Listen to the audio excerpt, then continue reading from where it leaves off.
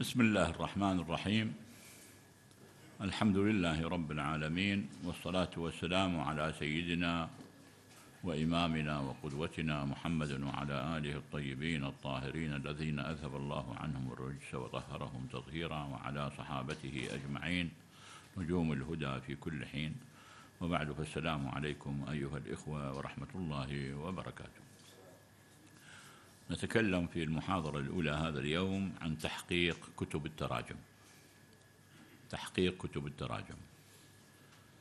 وأعيد وأبدي الكلام الذي قلته في الأول بأن التحقيق هو في مجمله واحد في جميع الكتب.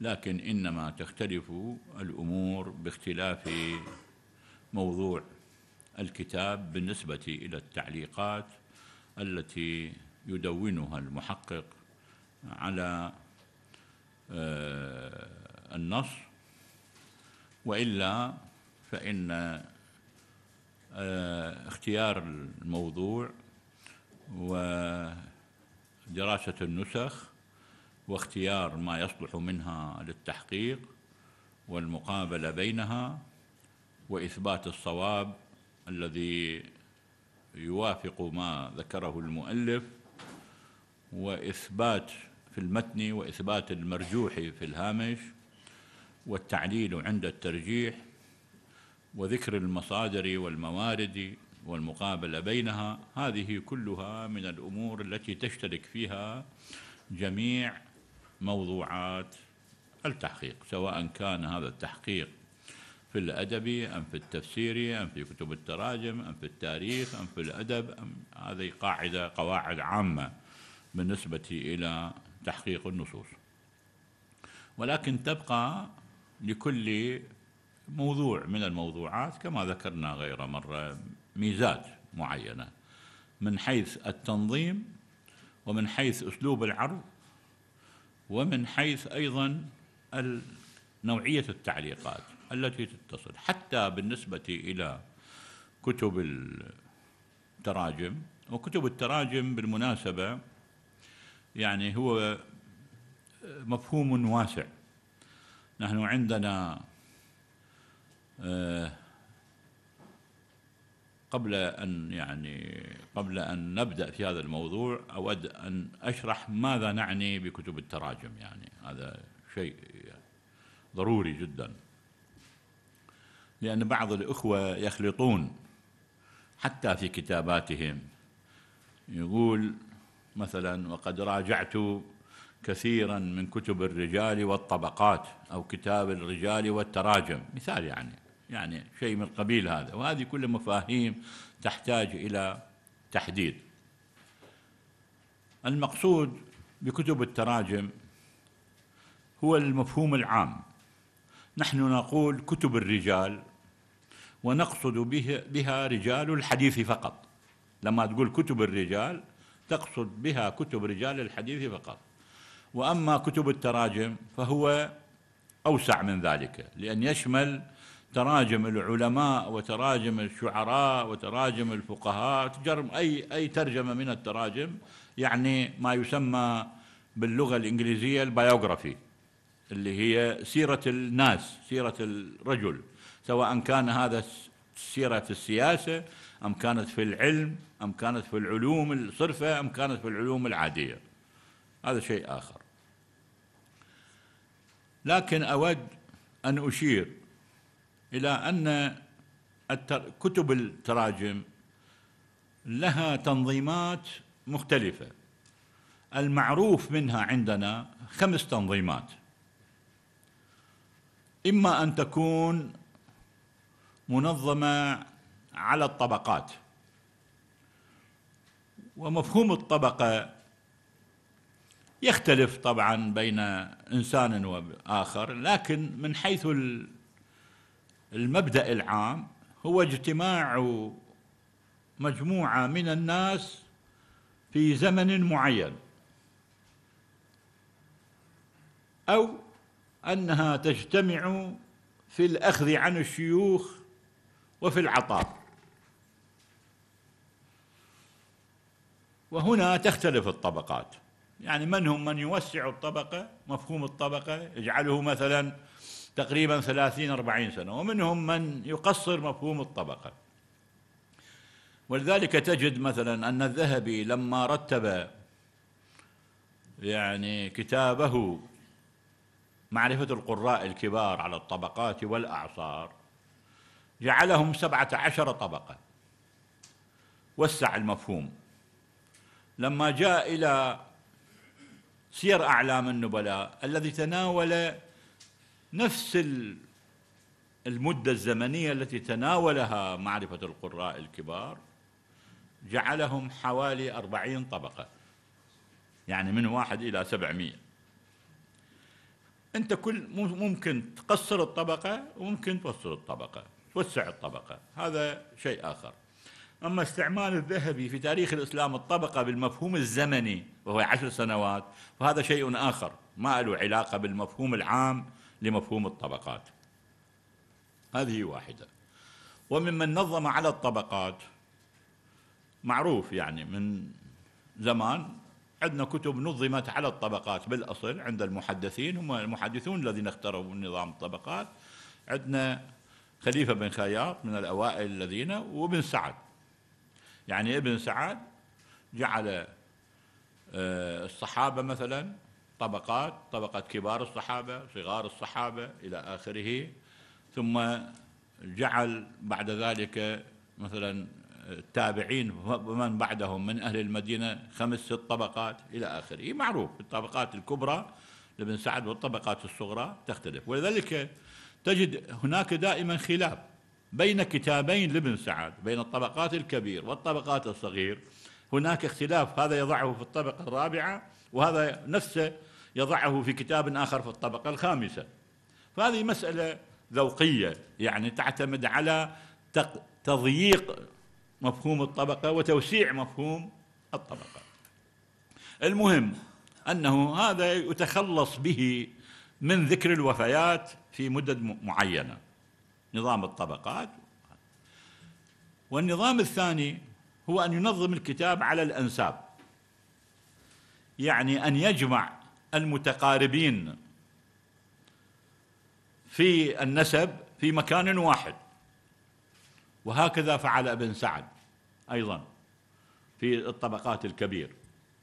يعني حينما ذكر القرشيين مثلا أو يذكر عائلة معينة من آل الخطاب مثلا يعني أو من آل أبي بكر من التيميين يذكر فلان وفلان وفلان وفلان حسب أقربائهم الأب والابن وإلى آخره والإخوة والأقرباء الذين يتصلون بهم.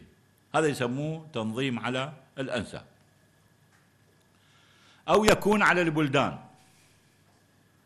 وأرجو أن يفرق هنا بين التنظيم على البلدان وبين كتابة كتاب لبلد معين. هذا شيء آخر.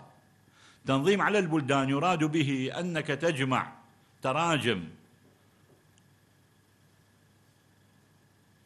آه، موضوع معين وتقسمهم حسب بلدانهم. يعني محدثو أهل البصرة. محدثو الكوفة محدثو بغداد محدثو واسط. وهلم جرة في كتاب واحد. ونذكر لكم يعني كتاب ابن حبان مشاهير علماء الأمصار اللي هو مرتب على هذه الترتيبات. وكذلك طبقات ابن سعد. يعني راعى فيه التنظيم على الطبقات ثم راعى فيه التنظيم على الأنساب ثم راعى فيه التنظيم على البلدان. يعني هو ذكر كان يذكر مثلا تراجم أهل مكة مرتبين على الصحابة على الطبقات ثم التابعين ثم ثم ثم إلى آخره. وفي داخل كل هذه الطبقات يذكر الأقرباء مجتمعين مع بعضهم. فهو كتاب منظم على البلدان ثم منظم على الطبقات ثم منظم على الأنساب في آن واحد ثم عندنا تنظيم آخر وهو التنظيم على الوفيات. بمعنى أنك تذكر المترجمين بحسب وفياتهم في اليوم وفي الشهر وفي السنة. وعدنا سلاسل لهذه ولا يغرنكم الأسماء لا تغرنكم الأسماء. يعني كتاب وفيات الأعيان أو الوافي بالوفيات أو فوات الوفيات. هذه ليست من كتب الوفيات. مع أن أسماءها هي وفيات لكنها ليست من كتب الوفيات لأن وفيات الأعيان مرتبة على حروف المعجم وكذلك فوات الوفيات وكذلك الوافي بالوفيات. هذه كلها من التنظيمات على حروف المعجم. سيأتي هذا التنظيم. لكن المقصود بذلك أن ترتب الكتاب الواحد على تواريخ الوفاة. وإحنا عندنا سلسلة تبدأ بابن زبر الربعي معروف في القرن الرابع الهجري ثم ذيول عليه لابن الأكفاني وللكتاني ولابن الأكفاني إلى آخره ثم جاء بعد ذلك علي بن المفضل المقدسي فألف وفيات النقلة ثم جاء المنذري فألف تكملة لوفيات النقلة ثم جاء عز الدين الحسيني وألف صلة التكملة لوفيات النقلة. هذه كلها مرتبة. يذكر مثلا وفي في الأول من المحرم يعني يكتب مثلا سنة 601 في أول المحرم توفي فلان ابن فلان. في أربعة محرم توفي فلان وفلان في خمسة محرم توفي كذا. في ثمانية محرم توفي. يرتب على اليوم والشهر والسنة هذا معروف. هذه الطريقة التي سار عليها من ابن زبر في كتاب مطبوع كتابه مطبوع اللي هو تواريخ موالد العلماء ووفياتهم معروف يعني. والذيول التي عليه والتي تتصل بالأخير بكتاب علي بن المفضل المقدسي وهو إسكندراني بالمناسبة. علي بن المفضل المتوفى سنة 611 وزيل عليه تلميذه أبو محمد عبد العظيم بن عبد القوي المنذري متوفى سنة 656 بكتابه التكملة لوفيات النقلة. ثم ذيل عليه تلميذه عز الدين الحسيني متوفى سنة 585 بذيل. يعني المنذري بدأ من سنة 582 إلى 642 وكمل عليه عز الدين الحسيني إلى سنة ال 75 74 نعم وكلها الكتب مطبوعة ومعروفة. في الأقل أنا طبعت كتاب التكملة والذيل عليه لعز الدين الحسيني. التنظيم الخامس هو التنظيم على حروف المعجم.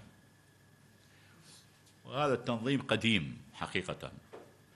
فنحن نعلم أن البخاري مثلا وابن أبي حاتم الرازي فيما بعده وإلى آخره والخطيب البغدادي وكل الذين جاءوا ورتبوا على وهي أكثر الكتب مرتبة على حروف المعجم. لكن هنا تختلف. منهم من يذكر الاسم الأول فقط ومنهم من يذكر الاسم الأول والثاني ثم يرتب على الوفيات. كما يفعل يعني لازم تعرفون أنتم مثلا كتاب البخاري كيف مرتب. كتاب البخاري مرتب على حروف المعجم ومرتب زمنيا أيضا. يعني حرف الألف عنده مثلا أو الأسماء في كل اسم من الأسماء يبدأ من فوق يعني من من الأقدم وينزل إلى زمانه.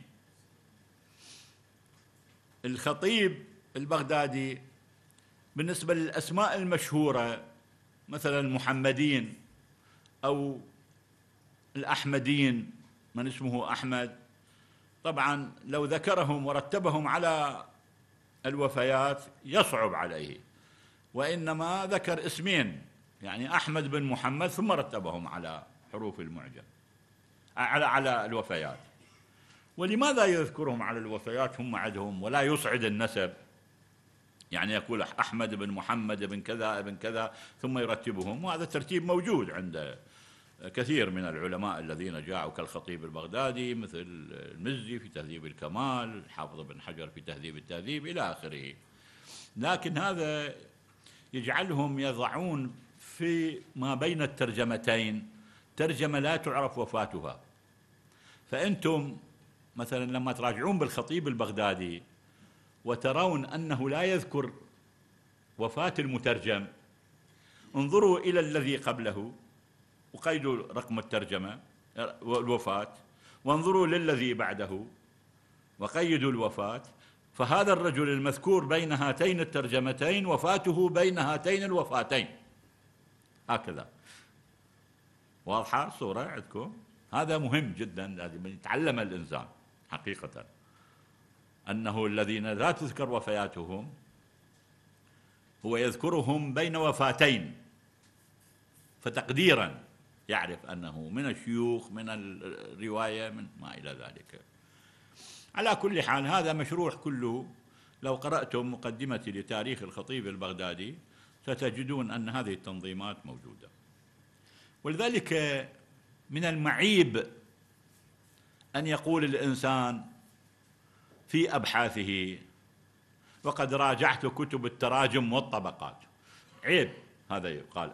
أو تراجعت كتب الرجال والطبقات أو كتاب هذا والتراجم. لأن هذه هذا جزء من هذا. لأن الطبقات هي جزء تنظيمي من كتاب التراجم. فالإنسان ينبغي أن يكون دقيق في تعابيره. هذه واحدة. هذا من حيث التنظيم. ثم تفننوا بعد ذلك بالموضوع الذي تتناوله التراجم يعني ربما وضعوا تراجم للصحابة أو تراجم للتابعين يعني كتب خاصة فقط في الصحابة. كتب خاصة وهذه التنظيمات متبعة فيها بالمناسبة. يعني كتب خاصة بالصحابة ربما تكون منظمة على حروف المعجم ربما على الوفيات ربما على الطبقات ربما على الأنساب ربما على البلدان وهلم جرا في التابعين كذلك. في الثقات من المحدثين في الضعفاء من المحدثين. ونذكر أمثلة معروفة.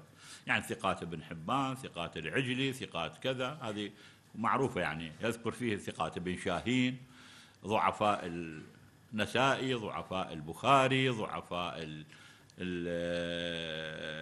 الدار قطني ضعفاء الكامل بن عدي في الضعفاء إلى آخره الميزان الاعتدال للذهبي هذه كلها خاصة بإيش؟ بالضعفاء ضعفاء للعقيلي وهلم جرة هناك كتب خاصة بالضعفاء كتب خاصة بالثقات كتب خاصة بالصحابة كتب خاصة بالتابعين كتب خاصة ببلد معين يعني محدثو بغداد اللي هو تاريخ مدينة السلام للخطيب. كل ما ليس فيه إلا مدينة بغداد أو من وردها من العلماء وحدث فيها. أصفهان لا توجد مدينة تقريبا من مدن العالم الإسلامي إلا ولها يعني معروفة إلا ولها تاريخ بما فيها مصر الذي جمع لها ابن يونس يعني معروف صدفي جمع لها تاريخ مصر وتاريخ الغرباء الذين وردوا إلى مصر عند كتابين في هذا الباب. وبغداد معروفة يعني تاريخ الخطيب تاريخ ابن الدبيثي تاريخ ابن السمعاني تاريخ ابن النجار تاريخ المجدد لمدينة السلام تاريخ أصفهان تاريخ نيسابور للحاكم تاريخ أصفهان لأبي نعيم تاريخ جرجان للسهمي وهلم جرة. تاريخ البصرة لابن شبة تاريخ مكة للأزرقي تاريخ المدينة لابن شبة لابن النجار إلى آخره. ما تركوا مدينة من المدن إلا ولها تواريخ. هذا تنظيم بالفحوى. يعني فحوى فحوى الكتاب. عندنا إذا تنظيم وعندنا مضمون. فالمضامين إذا تختلف. وطبعا هذه توسعات منهم تناولوا الفقهاء الشافعية فقهاء الحنفية فقهاء الحنابلة فقهاء المالكية ها؟ محدثين إلى آخره وتفننوا في ذلك تفننا لا مزيد عليه بحيث يعني آه، يمكن الإنسان يتوسع فيه توسعا كاملا. فعند تحقيق هذه الكتب عندئذ تراعى هذه المسائل. يعني ما هو موضوع الكتاب؟ وكيف نظم هذا الكتاب؟ تراعى فيه مثل هذه المسائل ويعلق عليها بموجب هذه التعليقات عندئذ.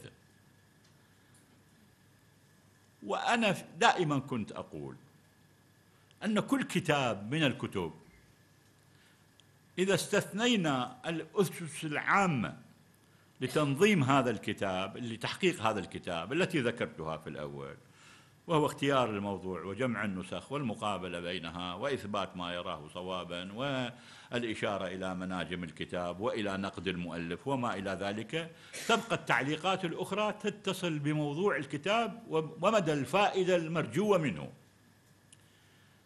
يعني من غير المعقول أنت تقدم فائدة للقارئ هو لا يحتاجها. يعني أنت لا ينبغي لك أن تأتي إلى كتاب في تراجم الأدباء. وتتوسع في تخريج الحديث. لا معنى لهذا. ولا معنى لك أن تأتي إلى كتاب في ال يعني الحديث وتتوسع في قضايا مثلا لو ورد شعر أو شيء أو أو أو في كتب التراجم العامة تراجم التراجم عفوا الفقهاء وتتوسع كما يتوسع يتوسع الشعراء حينما يذكرون تخريج الشعر. عندما يجمعون ديوان يقولون هذا البيت ورد بفلان مكان ورد بفلان مكان وبالصيغة الفلانية وبالترتيب الفلاني وأخرجه فلان ونسب هنا إلى فلان ونسب هناك إلى فلان. هذا ليس شغل مو شغلتك هذا. لأن هذا جاي عرضي. لا قيمة له. أنت تتب تتبع فائدة الكتاب. كيف تست... تفيد القارئ من هذا الكتاب جهد المستطاع. ولذلك إذا كان مثلا الكتاب خلينا نقول في الثقات مثال تحقق كتابا في الثقات فأنت تتأكد هل هذا الرجل الذي وجد هنا بعد تخريج حديثه تنطبق عليه هذه الصفة؟ هل المؤلف كان يعني موفقا في ذكر هذا المترجم في هذا المو في هذا المجال يعني وكذلك بالنسبة إلى الضعفاء. تخرج الروايات تبين وجه الضعف هل كان محقا في هذا هل تزيده أما أن تذكر مجموعة من الكتب يعني بعض الناس شوف يذكر مثلا يريد يحقق كتاب الضعفاء للعقيلي مثال. فيذكر أن هذه الترجمة ذكرها المزي في تهذيب الكمال وفلان وفلان وفلان وميزان الاعتدال والنسائي وفلان والذخاري في الضعفاء والدار قطني وال... هذه لا فائدة منها. لكن أنا من المفيد علي أولا أن أذكر في الترجمة من الذي نقل من العقيلي من الذي نقل من العقيل؟ هذا مهم بالنسبة لي. ليش؟ لأنه هذا يوثق عندي النص. هذا مهم بالنسبة لي. هل حرف في النقل؟ هل النص اللي عندي جاء كما ينبغي؟ وهل هذول الذين نقلوا نقلوا بأمانة؟ أيهما أحسن المنقول أم الموجود عندي في النص؟ هذا مهم بالنسبة لنا. وكذلك لما أجي إلى كتاب متأخر مثل الميزان. ميزان الاعتدال خلينا نفترض للذهبي ما أجي أنا أذكر في الميزان كل كتب الضعفاء السابقة. هذا لا قيمة له لكن أذكر من أين أخذ المزي هذه الترجمة. ما هي الموارد التي استقى منها هذه الترجمة؟ فأشير إليها بدقة كاملة. وأعيدها حتى أثبت هذا النص ثم أتتبع من؟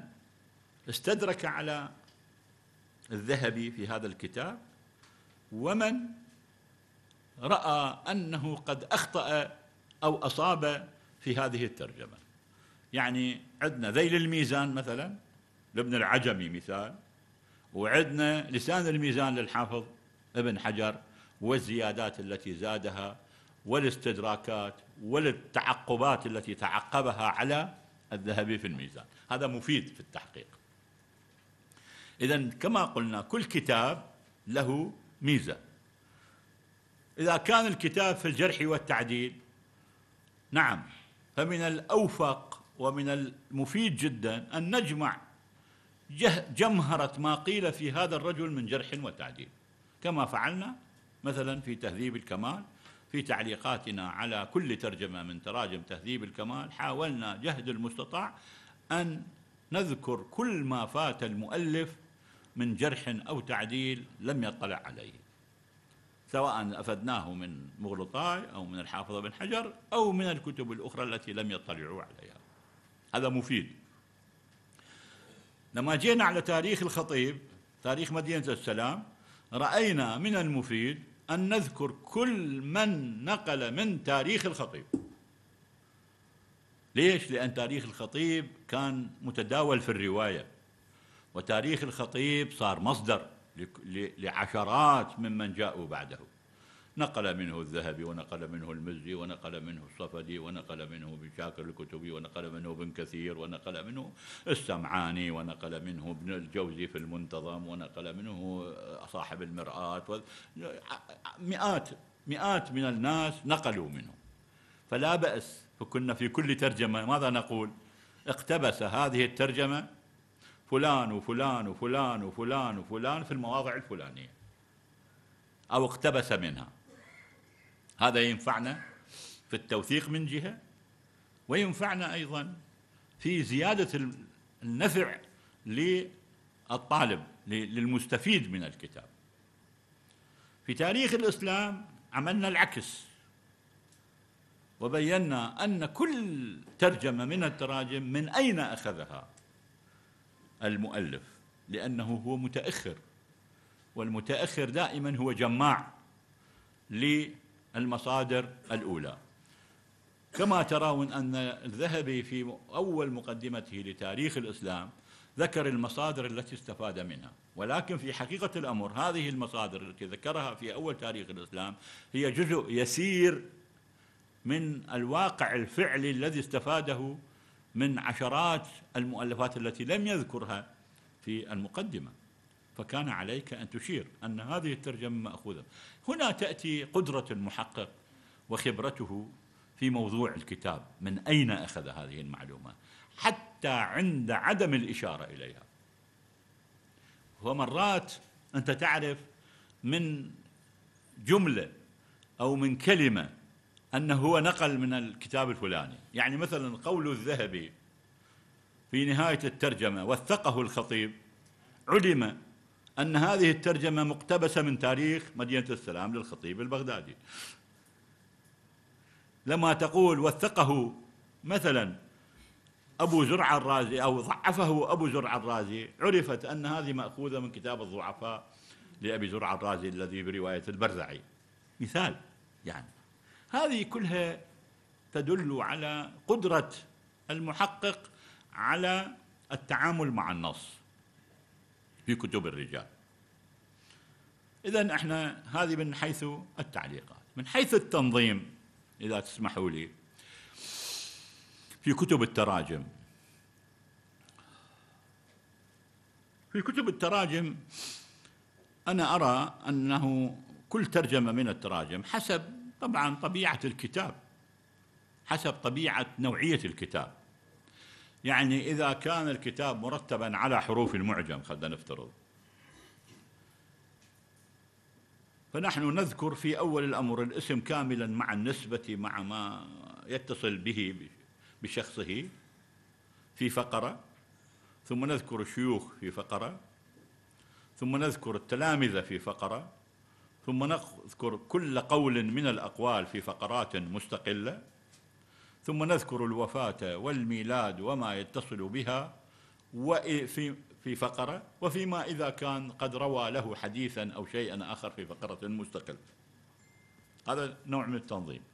إذا كان الكتاب مرتب على الوفيات فنذكر أولا فكرة وفي وفي الخامس والعشرين من من المحرم توفي الفلان الفلاني إلى آخره ودفن بالمكان الفلاني. هاي كلها تكون في فقرة مستقلة روى عن في فقرة مستقلة روى عنه في فقرة مستقلة.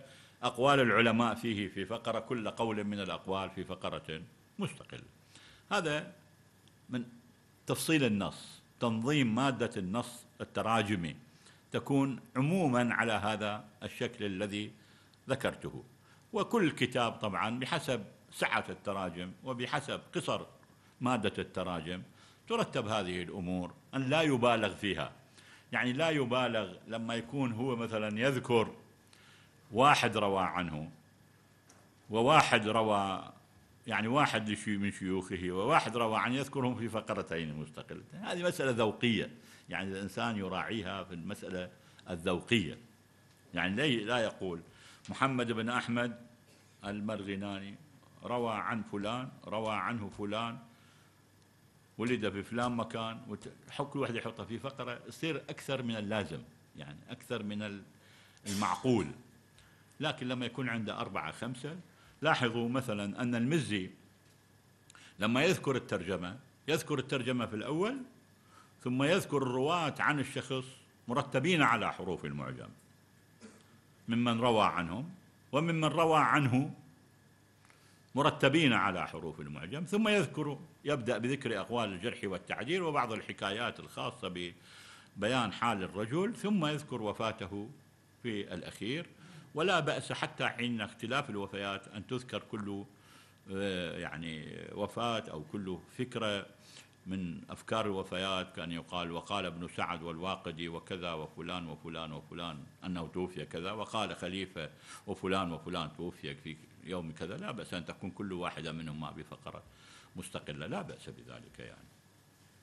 هذه مسألة ذوقية لا يبالغ فيها الإنسان وإنما يرى أي المصلحة أفضل سواء لحجم الترجمة أو لحجم الكتاب أو ما إلى ذلك.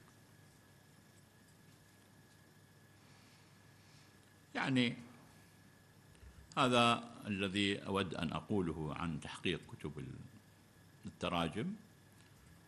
و لا أرى أن أزيد يعني على ذلك لأن هذا شيء ربما يكون فيه نوع من التكرار. طبعا أهم شيء في كتب التراجم أيها الإخوة هو ضبط الأسماء. هو ضبط الأسماء. وضبط الأسماء بالنسبة لغير المتخصص المتعمق وحتى المتعمق والمتخصص لا بد له في بعض الأحيان من الرجوع إلى الكتب الخاصة بضبط الأسماء.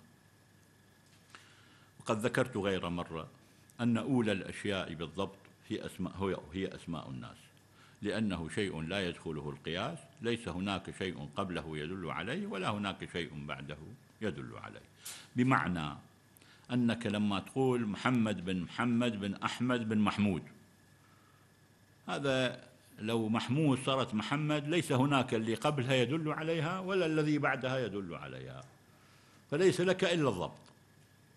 ولذلك العلماء منذ قديم الزمان اهتموا بهذه الناحية اهتماما بالغا فعلى الإنسان أن يعرف في كل زمان من الأزمنة أين هي الكتب التي عنيت بضبط هذه الأسماء. ومنذ فترة متقدمة جدا عني العلماء بضبط أسماء المحدثين وغيرهم. سواء كان يعني أيام عبد الغني بن سعيد المصري صاحب المؤتلف والمختلف وكتابه مطبوع أو كتابه مشتبه النسبة وهو مطبوع أيضا أو كتاب المؤتلف والمؤتلف للدار قطني متوفى سنة 385 وهو مطبوع أيضا في ست مجلدات أو كتاب الخطيب البغدادي المؤتنف أو المفترق والمتفق وإلى آخره له أكثر من كتاب الخطيب ثم جاء ابن ماكولا متوفى سنة 477 فجمع كل هذا التراث في كتاب الإكمال في دفع الارتياب عن المؤتلف والمختلف من الأسماء والأنساب والألقاب وذيل عليه الحافظ معين الدين بن نقطة البغدادي المتوفى سنة 629 في كتابه إكمال الإكمال الذي طبع باسم تكملة إكمال أو أو, أو آه، نعم تكملة الإكمال أو ما. لا هو الصحيح إكمال الإكمال. وكذلك الزيل عليه لمنصور بن سليم الإسكندراني توفى سنة 673 ولأبي حامد المحمودي المعروف بن الصابوني المتوفى سنة 680 ثم كتاب الذهبي المشتبه في الأسماء. المتوفى سنة 748 وشرحيه للحافظ ابن حجر ولابن ناصر الدين. معروفين. 842 و 852 هذا كتب المشتبه هذه ضرورية جدا للذي يعمل في كتب التراجم. ليس له إلا أن يعود إلى هذه الكتب لضبط الأسماء. طبعا عندكم إضافة إليها مثل التقريب للحافظ ابن حجر مثل تهذيب التهذيب تهذيب الكمال مثل غيره لكن لا تعتمد على ضبط الكتب الأخرى المطبوعة إلا أن ينص عليها في كتب المشتبه. هذا مهم لا يقال أنه هو في المنتظم مطبوع كذا إلا أن يكون هذا بخطوط بعض العلماء المشهورين من المخطوطات. عندنا مشكلة طبعا في الأسماء الأعجمية يعني في الأسماء الأعجمية غير العربية ولا سيما مثلا الأسماء الأندلسية التي هي في بعض أصولها هي لاتينية وتحولت إلى آه، اللفظ العربي. ولذلك اخترع الأندلسيون والمغاربة بعض الألفاظ أو بعض الحروف لتدل على حروف أخرى فهم حولوا القاف الأجنبية ال G التي هي الجيم المصرية يعني عندكم آه، حولوها إلى قاف دائما. فأينما تجدون من هذه الأسماء مكتوب بالقاف فهو قاف في الأغلب الأعم. فهو يقولون مثلا يكتبون إنجلترا يكتبون انقلطرة مثلا. هم حينما تلفظها أنت تلفظها إنجلترا. وحينما ترى مثلا في اسم المدينة مكتوب قوتندا هي جوتندا هكذا. لما تجد اسم الاسم اسم المترجم ابن اللونقه هو ابن اللونجو long ال long طويل يعني باللاتيني أو بالإنجليزي حتى يعني. اي أو ابن الباذش اللي هو القدم. تعرفون النسوان عندهم الباديكير والمانيكير يعني هذا القدم ال pedi pedi باللاتيني اللي هو القدم. ابن البادش هذا المقرئ المشهور هو في الأصل هي يعني أو ابن فره المقرئ المشهور صاحب ال... وهو بمعنى الحديد أو الفولاذ. هذه كلها أسماء لاتينية حقيقة. ابن مونتيل ابن كذا ابن يعني كثير من هذه الأسماء التي ولا بد لمن يتعامل مع هذه الأسماء أن تكون عنده شيء من الثقافة الأجنبية ليستطيع أن يتوصل إلى اللفظ الصحيح لها. يعني أنت مثلا آه، إيش تكتب أنت في المدينة الأندلسية؟ تكتب رية لو ريه مثلا. ولازم أنت تعرف ما هو اللفظ اللاتيني الأصلي لهذه الألفاظ وكيف يكون؟ هذا واضح يعني بالنسبة للأسماء الأندلسية التي يراعى فيها وطريقة المعرفة لهذه المسائل هو تتبع خطوط العلماء الجهابذة المتقنين. إذا وجدت كتابا بخط عالم كبير مثلا بخط الجياني بخط ابن عبد البر بخط آه، مثلا ابن الأبار بخط ابن عبد الملك بخط آه، ابن الزبير بخط آه، ابن بشكوال مثلا. وهو قد ضبط الاسم فهذا يعينك كثيرا حتى ضبط حروف يعني. هذا يعينك كثيرا مو شرط. يعني إحنا عندنا مع الأسف لم يصل إلينا كاملا كتاب في مشتبه الأنساب من تأليفات أهل الأندلس ولكن آه، الأفضل من كل ذلك هو تتبع ضبط العلماء. فأنا مثلا أذكر لكم تجربتي حينما اشتغلت في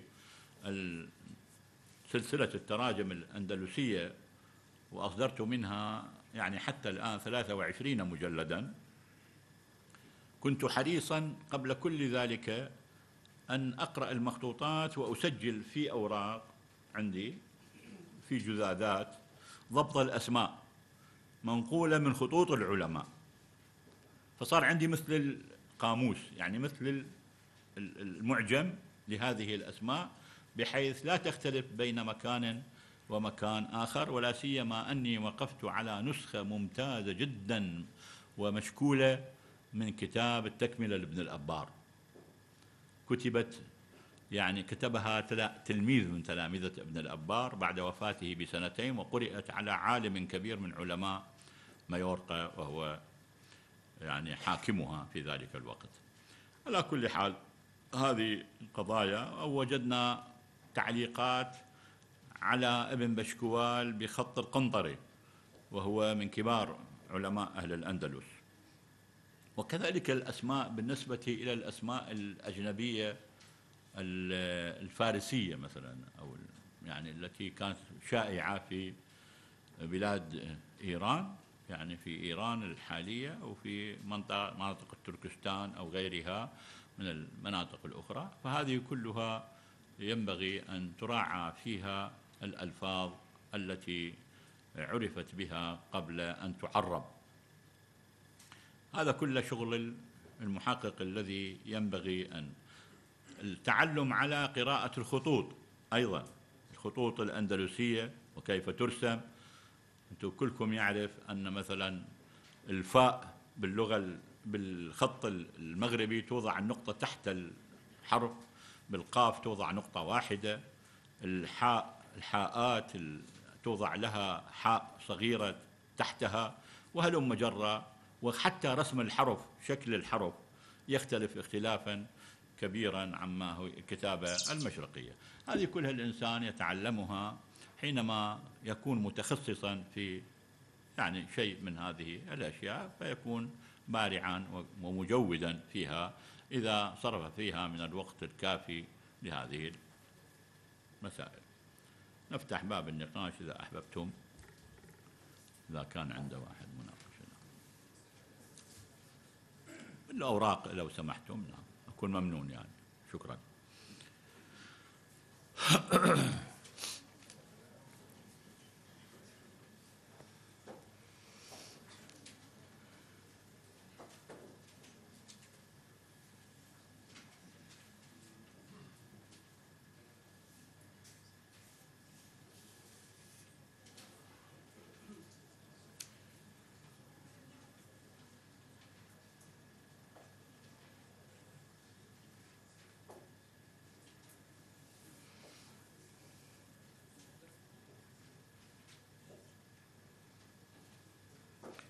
يعني ما هي النصائح التي تنصحنا بها أثناء العمل في جمع تراجم الرواة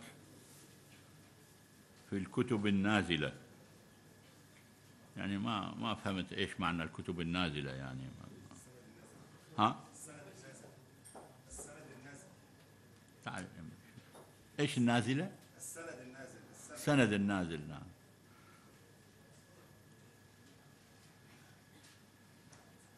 يعني تقصد في السند المتأخر يعني. نعم. ما في ترجع أنت إلى كل وقت يعني تبدأ من المؤلف وتشوف المؤلف هو إمتى كان يعني متى كان المؤلف يعني. خلينا نفترض آه، إذا كان من القرن السادس الهجري أو السابع الهجري مثلا أو الثامن الهجري تبدأ بكتب يعني كتب الموجودة يعني في ذلك الوقت يعني. يعني إذا كان في القرن الثامن أول ما تبدأ بكتاب الدرر للحافظ بن حجر. ثم تنزل بعد ذلك إلى كتاب مثلا مختفي لتاريخ أبي شامة. ممكن تنزل إلى تاريخ الإسلام للذهبي.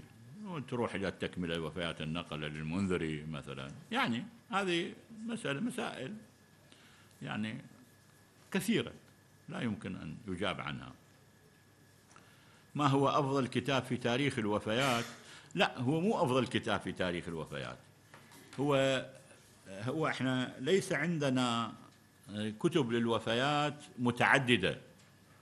يعني هو الوفيات كل واحد يزيل على الآخر يكمل الآخر. أبدأ بابن زبر ثم بعد ذلك الكتاني ثم ابن الأكفاني ثم علي بن المفضل المقدسي ثم المنذري ثم الحسيني هذه كلها موجودة يعني. فأنت ترجع إلى أي واحد منهم حسب الزمان حسب الزمان الذي تعود إليه.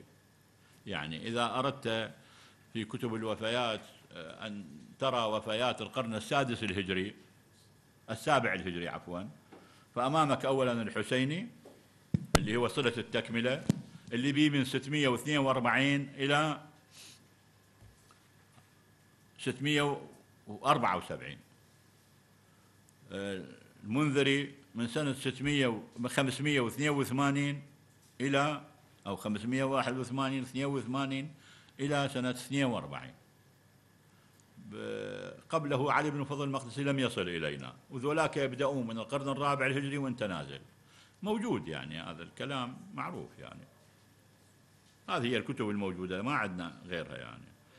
طبعا بعض التراجم بعض كتب التراجم إذا تسمحوا لي بعض الحوليات أي بمعنى الكتب التاريخية المرتبة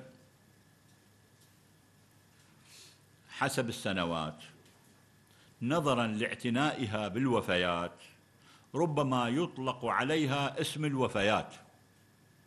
يعني مرات يقولون يقولون المقتفي لتاريخ أبي شامة لعلم الدين البرزالي. مثال. علم الدين البرزالي ولد سنة آه، آه، ستمية و بالستينات يعني وتوفي سنة آه، سبعمية وتسعة وثلاثين. خمسة وستين نعم. فكتب كتاب ذيل فيه على تاريخ أبي شامة اللي هو الذيل على الروضتين. فبعضهم يسميه الوفيات لأن أكثر ما فيه هو وفيات يعني هو فيه تراجم. كلمة وفيات في بعض الأحيان تطلق على التراجم فيقال هذا كتاب فيه الحوادث والوفيات بمعنى فيه التاريخ السياسي والتراجمي يعني التراجم. هذا تعبير خاص يعني آخر يعني لا يعني هذا الوفيات يعني. إيه كما يقال كما قلت أنا سابقا كتاب وفيات الأعيان أو فوات الوفيات أو الوفيات يعني لكتاب هذا هذا ليس من كتب الوفيات نعم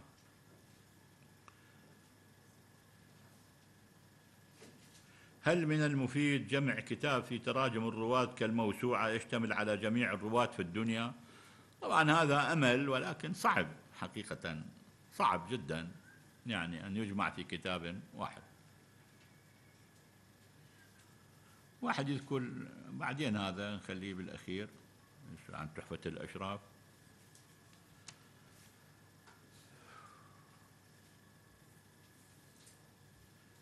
ما هي أفضل الكتب التي تناولت كتب التاريخ بالتعريف بها وموضوعاتها وطريقة تصنيفها وما إلى ذلك وما هو المختصر من هذه الكتب وشكل لا هو كتب التاريخ كثيرة يعني التعريف بها كل يعني كتب التاريخ لا يستطيع إنسان أن يستوعبها في هذه المحاضرة. كتب التاريخ آه، أفضلها طبعا معروف كتاب تاريخ الطبري الذي هو العمدة أصبح لكل من جاء من بعده. ثم هناك تواريخ متعددة تاريخ الصولي تاريخ آه، آه، ابن الجوزي تاريخ آه، العيني تاريخ ابن كثير تاريخ الذهبي تاريخ تواريخ كثيرة يعني تواريخ كثيرة هذا لا يجاب عنه.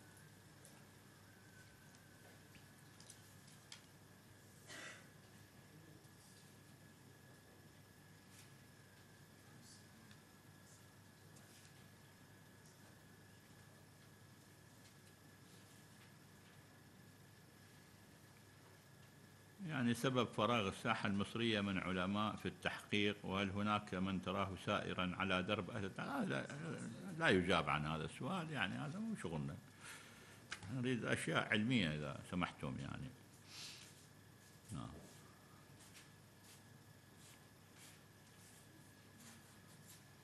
الأجرومية نعم. الأجروم يسأل عن الأجرومية والأجروم نعم بالألف وقال إنها كذلك على لغة بلده. يقول بعض المعتنين أن الألف بعد الواو في نحو الخوارزمي للدلالة على أن الواو قبلها أعجمية في النطق لا كالواو العربية الفصيحة المضمومة. ضما كاملا ولا ينبغي أن تنطق هذه الألف بعد واو مفتوحة فما لا هذا كلام. إحنا ننطق إذا اسمحوا اسمحوا لي نحن ننطق الأمور على العربية. يعني دائما العلماء أهل الحديث وغيرهم من الذين اشتغلوا في الكتب وفي التراجم كانوا هذه الألفاظ الأعجمية كانوا ينطقونها على قواعد أهل العربية. يعني يقول خوارزمي. هو مبني على خوارزم يعني. إيه، يكون مروزي على غير قياس على مرو الروذ مرو الشاهجان يقول مروذي هذه اصطلاحات اصطلح عليها العلماء. كما يقولون بغدادي وبغداد بغدادي يعني موجودة هذه. ما هو التصنيف الذي توضع فيه الكتب الخاصة بترجمة أعلام فترة معينة مثل الدرر الكامنة الضوء اللامع البدر الطالع؟ ما هو التصنيف الذي توضع؟ ها هذه كتب خاصة بقرن معين. هذا موضوعها. كما قلنا في الموضوعات إذا تسمحون. كل كما تكلمنا على الموضوعات قلنا هناك كتب خاصة بالثقات كتب خاصة بالصحابة كتب خاصة ببلد معين كتب خاصة بقرن معين بمئة معينة. مثل الدرر الكامنة مثل الحوادث الجامعة في, في أخبار المئة السابعة لابن الفوطي كتاب الدرر الكامنة لابن حجر كتاب الضوء اللامع للسخاوي البدر الطالع لما بعد القرن السابع يعني الكوابس كواكب السائرة في المئة العاشرة عيون هذا في القرن الحادي عشر وهلم جرة. هذا ما له علاقة. هذا. هذا محتوى نسميه محتوى. يعني أن تكون التراجم على هذا المحتوى. ما هي قيمة الكتب الحديثة في التراجم؟ مثل الأعلام معجم المؤلفين. يعني مفيدة للاستفادة منها لكن لا تعتمد لا ينبغي أن تعتمد في مثل هذا يعني ما يصير واحد بالتحقيق يقول انظر الأعلام ما يصير هذا الكلام يعني لا. بس يعني تدليك تدلك على شيء تدلك على وفاة تدلك على ضبط اسم تدلك على شيء آخر فترجع إلى الموارد الأصلية. هل للمحقق أن يستدرك على المؤلف؟ شوفوا هذه قضية الإحالة عند التعريف إخواني بالتراجم عند التعريف بالأشخاص عند التعريف. يعني مع الأسف آه، مرات تصير التعريفات هذه ضحكة في بعض الأحيان. فهو يريد يكثر مصادر المحقق. مرة يستعمل شذرات الذهب مرة يستعمل طبقات الحنابلة مرة يستعمل طبقات الشافعية للسادة ما يصير هذا الكلام. هو الإنسان حتى لو استعمل كتابا واحدا المهم أن يستعمل الكتاب الجيد المضبوط ها؟ أو يعني أنت لو استعملت خلينا نفرض تاريخ الإسلام يكفي. يكفي تاريخ الإسلام يكفي. يعني هذا قضية التنوع الذي لا معنى له في بعض الأحيان. يعني عيب أصلا. يعني أنا أسألك زين ليش استعملت هنا شذرات الذهب؟ ما استعملت طبقات ابن سعد. ما واحد يجي يعرف لي مثلا الخطيب البغدادي. مثال مثال على ذلك يعني. الخطيب البغدادي يقول انظر شذرات الذهب. ليش شذرات الذهب؟ ليش ما سمعاني في الأنساب؟ ليش ما فلان ابن الجوزي في المنتظم مثلا؟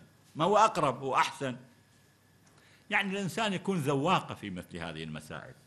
لا يحاول يكثر على مود يكثر المصادر أو يذكر عشر خمس ست مصادر سبع مصادر. لا معنى لها أيضا. مصدر مصدرين كافي هل للمحقق أن يستدرك على المؤلف نصوص التراجم كأن يصحح نسبة أو تاريخ وفاة اعتمادا على مصادر يراها المحقق أوثق وتسبق المؤلف أو هي من مصادره؟ لا بأس. كل تعليق ينفع القارئ لا بأس به. ينفع القارئ. ولكن يكون بإيجاز وأن يكون مفيدا يعني. لا بأس أن يعلق. هل كتب ضبط الأسماء محققة تحقيقا علميا بمعنى أننا نطمئن للاعتماد عليها في ضبط الأسماء؟ نعم أغلبها محققة تحقيقا علميا. يعني آه، كتاب الدار قطني جيد تحقيقه. كتاب المؤتلف اثنين من تلامذتي نشرته دار الغرب الإسلامي لعبد الغني بن سعيد. اشتغلوا أنا راجعته. آه، كتاب ابن ماكولا اشتغله عبد الرحمن المعلمي اليماني وشيخ المحققين. وكتاب ابن نقطة تحقيقه جيد جدا. أيضا كتاب المحمودي اشتغله آه، شيخنا علامة العراق الدكتور مصطفى جواد رحمة الله عليه. وكذلك كتاب الذهبي بإشكالات طبعة البجاوي. لكن هي قائمة في الأصل على طبعة قديمة طبعة أوروبية يعني مكتوب سنة 1860 ولكن شرحه لابن ناصر الدين ولتبصير المنتبه ابن ناصر الدين شغله ممتاز جدا. هو ابن ناصر الدين أحسن الكتب بالمناسبة يعني. يعني يكفي هو ابن ناصر الدين. فيمكن الاعتماد عليها عموما يعني عموما جيدا جيدا. في حالة تحقيق مخطوط مؤلف نقل معظم ما فيه من كتاب آخر مثل المنتظم منقول من الطبري. ففي هذه الحالة أرجع إلى كل المواد التي أردت ذكرها في المنتظم. أم أرجع إلى الطبري؟ لا طبعا ترجع إلى الطبري. ترجع إلى الأصل الذي نقل منه. هو نقله بمصادره. أنا باحث ماجستير في موضوع ما وجدت مخطوط متعلق بهذا الموضوع. أردت أن أقرأ هذا المخطوط وأنسخه لكي أضعه في الرسالة. ماذا يسمى عملي في هذا المخطوط هل هو نشر فقط أم تحقيق أم دراسة؟ مع العلم أني سأقوم بقراءته ونسخه فقط بدون التعليق؟ لا هذا لا يجوز أولا. يعني ما ليست له قيمة أن تقوم بنسخه وتدوينه بدون تعليق.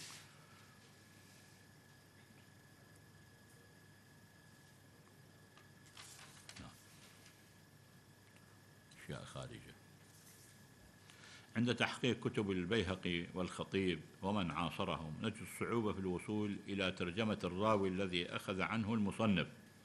فما هي نصيحتكم لنا في ذلك من كتب التراجم؟ لا هذه ليست صعبة حقيقة. يعني البيهقي في الأغلب كثير الاعتماد على الحاكم النيسابوري يعني شيخه شيخ الحاكم هو وكان ينتقي منه. ينتقي منه. وقد انتقى منه أشياء جيدة حقيقة. البيهقي ذكي. يعني البيهقي تعرفون توفي سنة 458 وشيخه الحاكم توفي سنة 405 هجرية. فهذه موجودة التراجم. ما يعني المشكلة اللي عندنا شوية في بعض هو أحسن شيء تاريخ الإسلام. أنا في رأيي يعني تاريخ الإسلام مفيد في هذه الناحية. ولأنه المشكلة التي عندنا أن تاريخ نيسابور للحاكم لم يصل إلينا يعني فقد. وفيه أكثر هذه التراجم يعني يعني لما ينقل عن الحاكم والحاكم يذكر شيوخه فشيوخه موجودين في تاريخ نيسابور في الأغلب. لكن بيني وبينكم أن أكثر هؤلاء موجودين في الكتب المعتبرة يعني كتب أوسعهم كتاب تاريخ الإسلام. يعني بس أعطيكم فكرة. يعني مثلا ابن الجوزي يذكر في السنة الواحدة 10 15 12 14 15 واحد في الوفيات يعني بعد ذكر السنة. الذهبي المعدل الذي يذكره بحدود الخمسين إلى ستين فهو أوسع. عندك تاريخ الخطيب عندك تاريخ ابن عساكر عندك تاريخ جرجان السهمي عندك هاي كلها تراجعها. تحط الآن موجود. الآن تحط الشاملة. بوس الزر هي تطلع. ما تطلعش تسوي لها. يعني صارت الأمور سهلة. ليست كم بس قلب الاسم قلب الاسم حتى تستطيع ان يعني صارت سهلة الأمور. هل هناك كتب اهتمت بالتعريف برواة الكتب؟ مثل كتاب التقييد لابن نقطة وذيله للفاسي وما هي أهمية تلك الكتب. لا التقييد لابن نقطة آه، لمعرفة رواة السنة والمسانيد وكذا ذيله للتقي الدين الفاسي المتوفى سنة 832 آه، هذه يعني لمن رووا كتب معينة مو هي يعني هي ليست للأسانيد تحليل الأسانيد لا لمن روى كتب معينة. يعني رواة الكتب رواة تاريخ الخطيب رواة هذا رواة ابن سعد رواة البخاري رواة كذا. هذه هو رواة الترمذي موجودة يعني موجود عند الحافظ ابن حجر أيضا بعض الكتب. لم أستطع إيجاد كتاب موسع في تراجم طبقات علماء الحنفية إلا الجواهر القرشي والطبقات السنية للتميمي هل يوجد كتاب مخطوط موسع في تراجم لا هو أحسنهم الطبقات السنية التميمي. هو بعد يعني الذي لا يوجد في كتاب الطبقات السنية يعني عموما لا يوجد. عموما يعني لا يوجد بعد ذلك.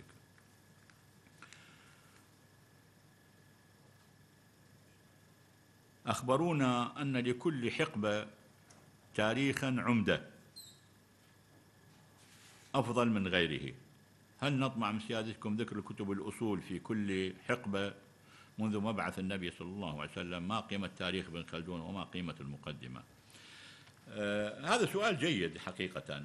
يعني نحن إخواني بالنسبة للتاريخ أحسن طريقة إذا تريدون تأخذون الفائدة من التواريخ.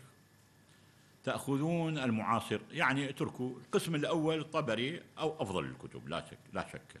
إلى سنة 300 إلى سنة 300 طبعا الطبري تعرفون وقف إلى 200 وأظن 98 إلى هذا الفترة الطبري يعتبر من أحسن الكتب المؤلفة. فيه روايات متوسعة وفي روايات مختلفة وعليك أن تدرس هذه الروايات وتختار منها ما تراه مناسبا. طبعا موجود تاريخ خليفة ابن خياط وهو من الكتب الجيدة. وعندنا يعني كتاب ابن سعد يعني في هذا كتاب الفتوح لابن أعثم الكوفي كتاب أنساب الأشراف للبلاذري. هذه الكتب المعروفة في هذه الفترة. بعد ذلك تأتي الكتب المعاصرة. كل كتاب معاصر يعني كتب الصولي المعاصرة آه، كتاب المنتظم المعاصر له كتاب مرآة الزمان المعاصر. يعني مو تأخذ من أنا مقصدي تأخذ من كتاب المنتظم ما عاصر هو أحداثه. هذا هو.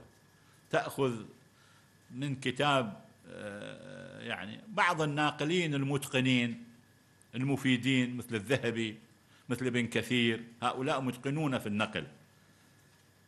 يعني تأخذ منهم لا بأس عن الأسبق يعني ولكن تبقى المعاصرة هي الأساس. يعني كلما ذهبت إلى المعاصر فيكون عندئذ أفضل.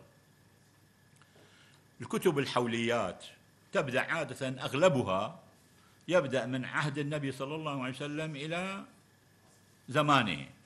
فأنت تأخذ القسم المعاصر له من كل كتاب. وحين لا تجد كتابا معاصرا. فذلك تجد لها بعض الكتب المعتبرة. يعني من الكتب الجيدة كتاب ابن الأثير من الكتب الممتازة الكامل ابن الأثير مؤرخ ذو عقلية راقية. أما كتاب ابن خلدون فهو دون الوسط حقيقة من الناحية التاريخية يعني.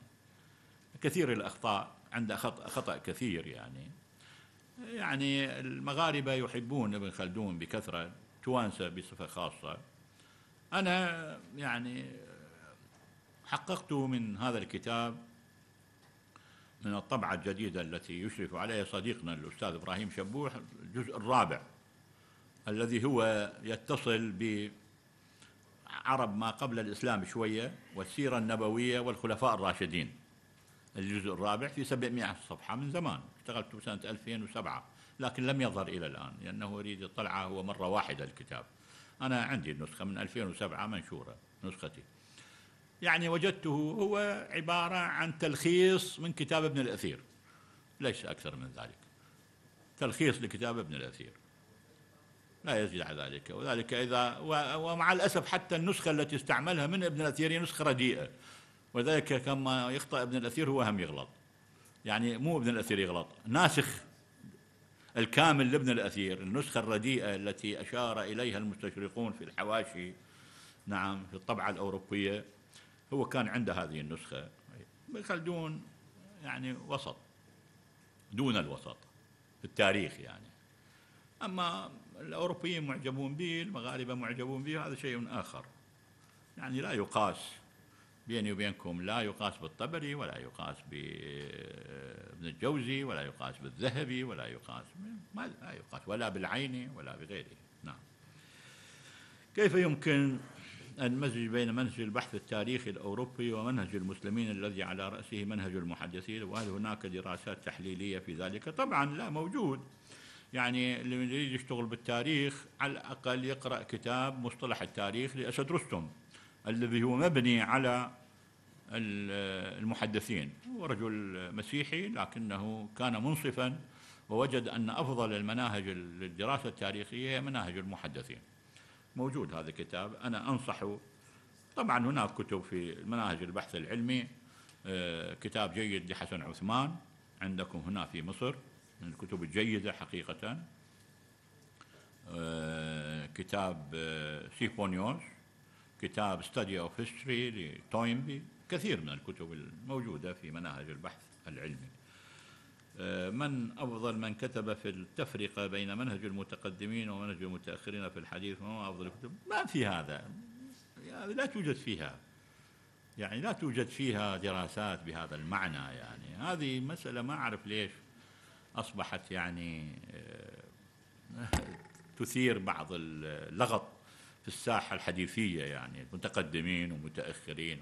كل الذي قلناه أنه قيمة الجهابذة المتقدمين أفضل من الذين جاءوا من بعدهم وهذا حق يعني ليس يعني لأنه نحن نعلم جيدا وأنتم تعلمون جيدا أن كتب المصطلح إنما وضعت بناء على سبر أعمال الجهابذة الأوائل. فالسبر هذا قد يكون تاما وقد يكون ناقصا.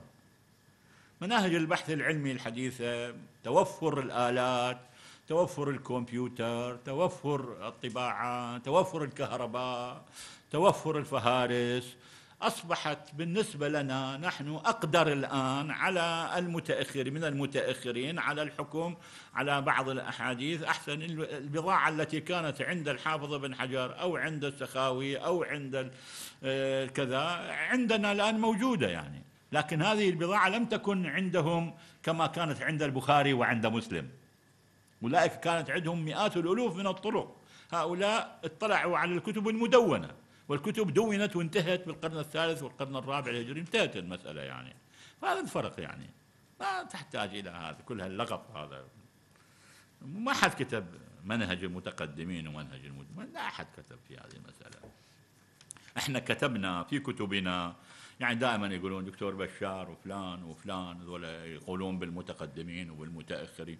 إحنا لا نقصد ذلك. لا إحنا كتبنا أنا أدير بالكم أيها الأخوة أن الحديث الذي يصححه الجهابذة الأوائل لا ينفعه تضعيف المتأخرين. أن الحديث الذي يضعفه الجهابذة الأوائل لا ينفعه تصحيح المتأخرين يعني الذين جاءوا من بعدهم. لماذا؟ لأن أولئك كانت عندهم من الوسائل ومن الطرق طرق الحديث وما إلى ذلك ما ليس عند المتأخرين ما ليس عند هؤلاء. هذا هو الفرق أنه هؤلاء لا يقاس بهؤلاء. أنت مش تحط تحط علم البخاري وعلم مسلم وعلم أبو يحيى بن سعيد القطان تحطه بمنزلة الذهبي أو ابن حجر أو أو ابن رجب أو ما أي واحد من هؤلاء. ما يصير هذا لا يجوز لأن ذولاك عندهم كانت أشياء لا توجد عند هؤلاء. عندهم مئات الألوف من الطرق لم يطلع عليها هؤلاء. هذا الفرق. وذلك نحن لما جينا على جرح والتعديل. ما إحنا قبلنا آرائهم في الجرح والتعديل من غير مساءلة. مو صحيح هذا الكلام.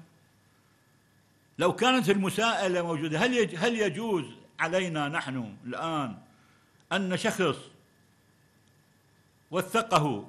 مثال على ذلك. وثقه البخاري ومسلم وأبو داود وأبو زرعة والنسائي وابن حبان وإلى آخره ولم يجرحه أحد. يجي واحد يعني نقبل قول ابن حجر أو الذهبي أو كذا يقول هذا ضعيف. نقبل هذا الكلام منه؟ لا نقبل هذا الكلام منه. والعكس من ذلك.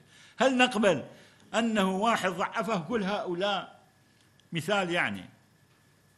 واحد جاء من المتأخرين في زماننا أو في قبل زماننا أو في في القرن التاسع أو في القرن الثامن أو في القرن التاسع أو العاشر وقال هذا ثقة.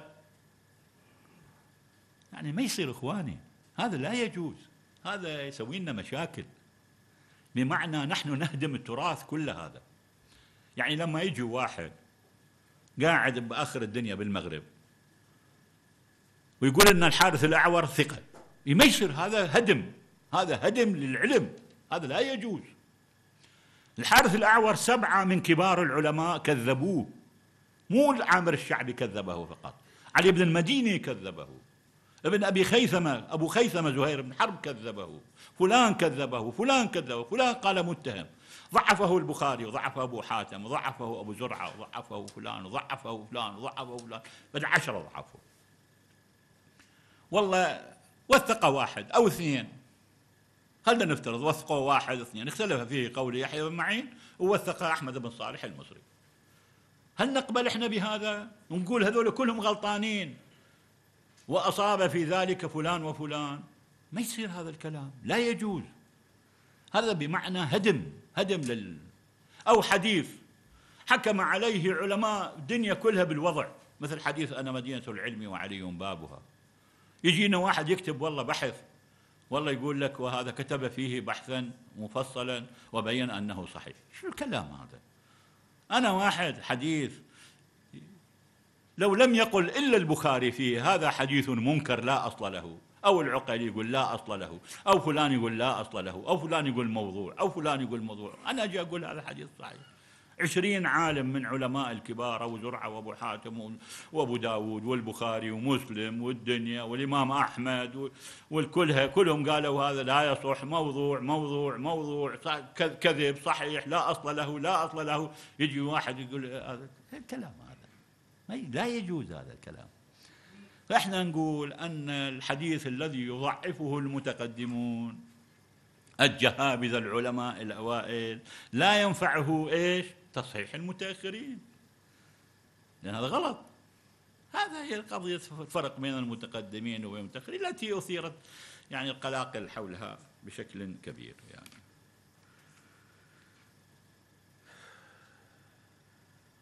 من أفضل المحققين من المستشرقين في التاريخ والتراجم ما في يعني المستشرقين كانوا سابقا. يعني الآن اظل المستشرقين ذولا كلهم الآن المستشرقين مال هالوقت بالمناسبة مساكين ذولا كلهم يشتغلون يصير موظف وزارة الخارجية يعرف شوي عربي. ما ظلوا يعني الجهابذة الأوائل ذولا الجيدين مثل يعني مثل بروكلمان وتلاميذه وشبولر و وفان إيس وزلهايم ودول راحوا. ماتوا وما خلفوا عليهم. كل الآن أنا شفتهم أروح لأوروبا وألتقي بهم. ضعاف ضعاف ضعاف يعني إلى درجة يرثى لها يعني. إيه، يرثى لها. هناك مخطوطات مفقودة فهل من الفائدة أن أجمع كل مؤلفات العالم وأنظر من مطبوع منها والمفقود؟ لا بأس بذلك. نعم ممكن.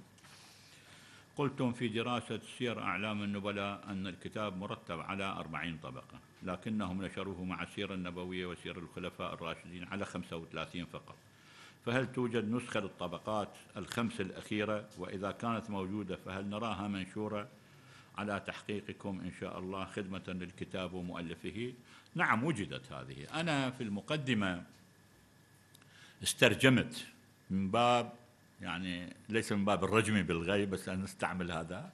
نقول استرجمت أن يكون هذا ليس الجزء الثالث عشر الذي أنا حققته من سير أعلام النبلاء في أيام الزمان وهو يتكلم فيه الجزء الأجزاء الأخيرة يعني 21 و22 و23 اللي من المطبوع اللي أنا حققتهم.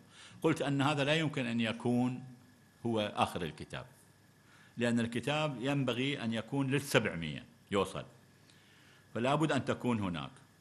واقترحت في وقتها أن تكون هناك نسخة في الهند.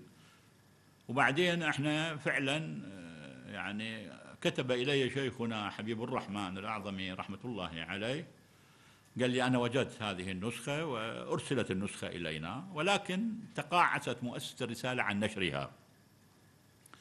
في وقتها على اعتبار ننشرها نسخة صعبة شوية وفيها ذيل سير أعلام النبلاء أيضا. وبالمناسبة منشور عندكم الآن كتاب اسمه ذيل تاريخ الإسلام إذا سامعين به. هذا ليس ذيل تاريخ الإسلام هذا ذيل سير أعلام النبلاء. نشروه اثنين واحد سعودي وواحد عمر عبد السلام تدمري واثنينهم خربطوا ولخبطوا به. الحقيقة لأنه هذا به الطبقة الأربعين والطبقة التسعة وثلاثين والطبقة الثمانية وثلاثين وتاريخ الإسلام مرتب على سبعين طبقة. فكيف يكون عندئذ هذا في الطبقة؟ هذه ما يفهمون الشغلة. يعني عيب والله عيب واحد يشتغل في موضوع لا لا يحسنه يعني. هذا ذيل سير أعلام النبلاء. هذا ذيل سير أعلام النبلاء وليس ذيل سير أعلام النبلاء وقد نقل منه الفاسي ونص في نقله على أنه ذيل سير أعلام النبلاء.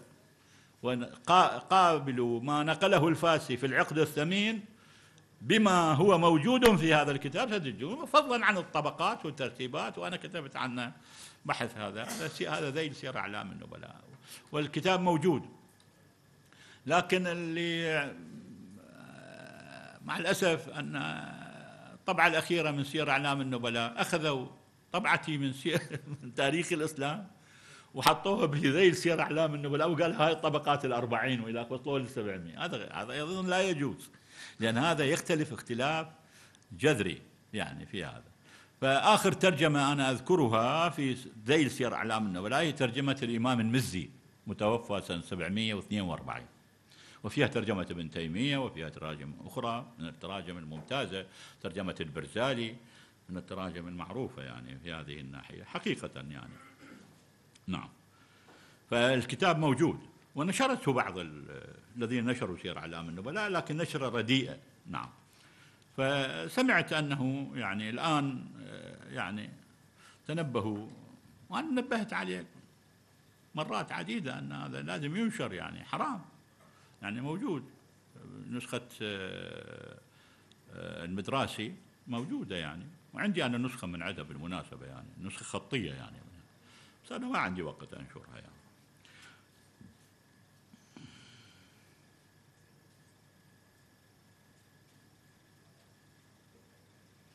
شكرا لكم على تحقيقكم لكتابي المحلى والتمهيد ولكن قد يختلف عليك الناس في علم الحديث بينما يتفقون عليك في علم التاريخ. فهل ترى ضمن مشاريعك تحقيق كتابي؟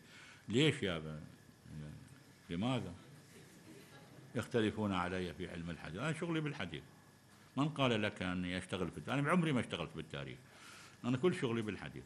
شو الكلام هذا؟ يختلفون علي في علم الحديث؟ خلي يختلفون. اللي عنده مناقشة يناقشني في كتاباتي وفي غيرها. له الحق في ذلك يعني. يقول أن الدكتور أخطأ في كذا. لا بأس بذلك. يختلفون علي. أين يختلفون؟ أما بعض الجهلاء يكتب يسوون أنا لا أرد على الذين يكتبون. بالمناسبة يعني كثير مرات يشتمون ويسوون ويشتمون ويسوون. واحد من الجهلاء كتب هنا عندكم في مصر صحح نسختك من تهذيب الكمال. ضحكة هذا ضحكة. يوم جاء عندي أبو إسحاق الحويني الله يشفيه ويذكره بالخير دائما صديقنا العزيز. فأريته أنا نسختي المستدرك عليها من ما وقع من بعض التصحيفات والأخطاء في طبعتي الأولى. قلت له هذا شوف الجزء الأول ذكرت ست مواضع وأنا ذكرت 54 موضع. يعني هذا جاهل لاقي على نسخة واحد بالطريق مصحفها يعني زاي صايره راء ما أدري شنو صايره كذا. وكل واحدة مسويها هالقد ومشتم مشتايم علي. وان الدكتور بشار. ما حقق هذا الكتاب وأن حققه جماعة من الإخوة المصريين الذين كانوا في بغداد يعني يقصد الأخ محمود وجماعته. وبعدين الأخ محمود آه، كتب رسالة بخطه ثلاث صفحات نشرها على النت قال له يا مفتري يا كذا. تعرف ليش ذكرنا الدكتور بشار؟ لأننا في بعض الأحيان ربما أفدناه سؤالا أو شيء من هذا القبيل أو إلى آخره. وإلى كتب يعني هذا افتراء عيب. عيب هذا وأن الدكتور بشار بعثي وأنه من البعثيين الكبار وأنه لا يؤمن بمبادئهم. الكلام الفاسد الذي لا علاقة له يعني يا أيها الأمريكان اذهبوا فاذبحوه هذا الرجل هذا من جماعة صدام حسين يعني شو الكلام هذا يا أخي؟ عيب. واحد اسمه عياري ما أدري شو اسمه واحد عندكم هنا اسمه عياري ما أدري شنو اسمه ثياري ما أدري عياري والله ما أعرف اسمه. يعني يعني يعني عيب. ولذلك أنا لا أرد عليه. بس يعني اضطررت في واحدة من الكتب التي يعني من الكتب التي يعني نشرتها قلت له يا أخي هذا لا يجوز هذا عيب هذا الكلام. يعني أنتم بدل ما تحترمون إخوانكم العلماء الكذا الذين رزقهم الله شيء من هذا يعني نحن نخطئ ونصيب. لا بأس بذلك. كل إنسان يخطئ ويصيب لكنه نحن ما وراء ذلك إن شاء الله إلا خدمة الدين وخدمة الإسلام وخدمة حديث رسول الله صلى الله عليه وسلم.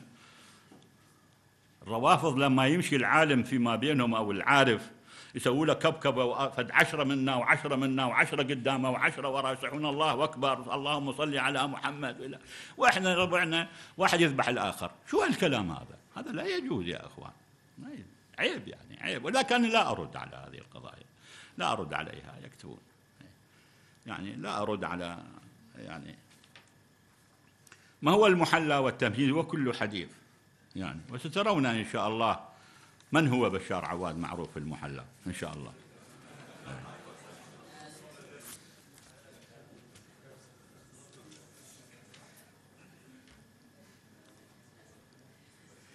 هل القاف في الأسانيد الأندلسية دائما تنطق كحرف جي الإنجليزية مثل القشتالي والمالقي.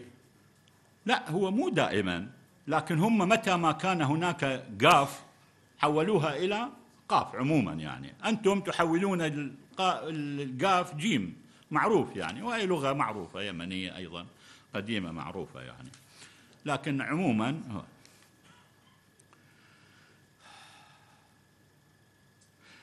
يجعل يقول ما قولكم في صنيع بعض المحققين يجعل لتحقيقه هامشين. الأول لبيان اختلاف النسخ الثاني لباقي التخريجات والتعليقات. هذه طريقة يستعملها المستشرقون حقيقة بكثرة. أنا لا أستحسنها. وأنا جبرت عليها في كتاب ابن خلدون يعني. الجزء الرابع. لأن إبراهيم صديقنا الأستاذ إبراهيم أصر عليها أن نكتب الاختلافات بين النسخ في هامش في حاشية يعني حواشي معينة والتعليقات في حواشي أخرى. هاي طريقة متعبة وهي يستعملها لي باء جيم وهي يستعمل لها واحد اثنين. يعني لا معنى لها لا معنى لها. يضع خطا فوق الراوي عن الشيخ بينما يضع خطا تحت أسماء الشيوخ. قضية الفوق وتحت هذا مسألة اصطلاحية. القدماء يضعون فوق بالمناسبة يعني. إحنا في الطريقة الحديثة نضع تحت يعني ما في شيء هذه مسألة اصطلاحية يعني. يعني تريد تحط خط يعني للبيان. والآن بدل الخط إحنا نستعمل البولد يعني. نريد نبين عبارة معينة نقول لك اكتبها نقولها للطباعة. كتبيها بالأسود يعني بالبولد يسمون اكتب لها بي يعني.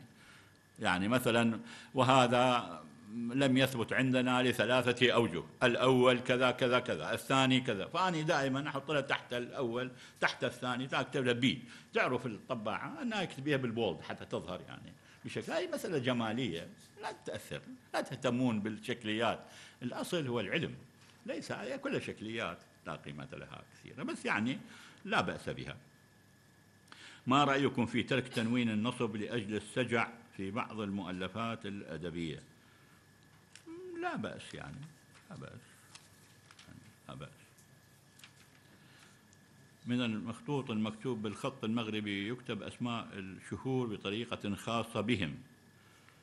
آه، ديسمبر تكتب دجنبر طبعا. نوفمبر تكتب نونمبر اي صحيح هذا ما فيها شيء. يعني هذا اصطلاحهم هم يكتبون هكذا. الم... ال... ال... ابن حزم يكتب هذه بالمناسبة يعني يستعمل دجمبر ونونمبر وأنا حتى واحدة من عندهم آه آه مرت علي وكذا يعمل الطعام ليلة ينير بعدين افتهمتها أنا هذه ليلة رأس السنة.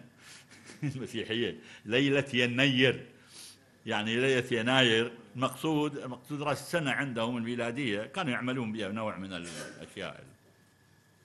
إذا كان الناسخ يكتب بلهجات أهل المغرب هل يشار إلى ذلك في الهامش أم لا؟ لا بأس يذكر كل شيء كل شيء يبين. يعني أنت الاصطلاحات في بعض الأحيان هو يستعمل اصطلاحات خاصة بهم. وأحسن كتاب في هذه المسألة هو كتاب دوزي. دير بالكم هذا حطوه دائما واحد يعني لازم كل واحد يشتغل بالتحقيق وعنده كلمات تأتي ليست في المعجمات العربية.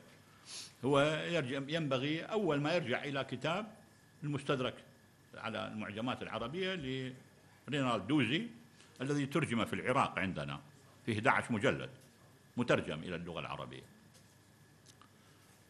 يعني ذاك اليوم أنا مر علي وهو يذكر الأشياء التي يصنع منها المسكرات.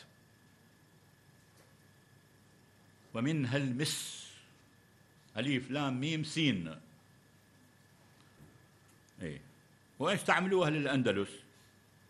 يعني بعدين دورت عليه بكل المعجمات ما لقيته. بعدين تبين شنو هو هذا المس؟ إحنا بالعراقي بعدين تذكرت أنا نسميه المش.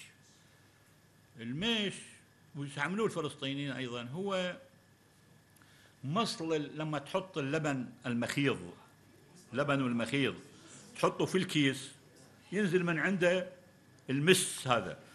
هو هذا المقصود. ما أدري يستعمل عندكم في مصر أو لا يستعمل. آه يستعمل. ها؟ يستعمل عندكم في مصر.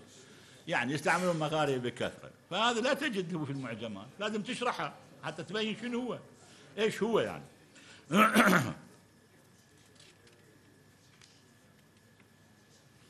شكرا يكفيكم ثناء العلماء وعدم انتقادكم إلا من الصغر جزاكم الله خيرا. يعني على كل حال يا سيدي هذا كل إنسان نعرف يعني هذه ناس يعني.